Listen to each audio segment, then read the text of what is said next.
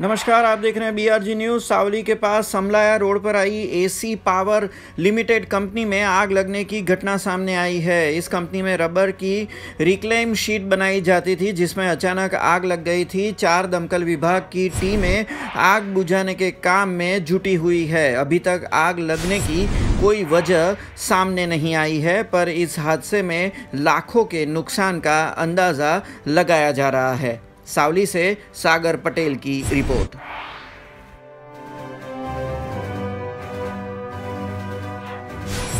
ऐसी ही ताज़ा तरीन खबरों से अपडेट रहने आप हमें YouTube, Facebook, Instagram और Twitter पे सब्सक्राइब लाइक और फॉलो करना ना भूलें।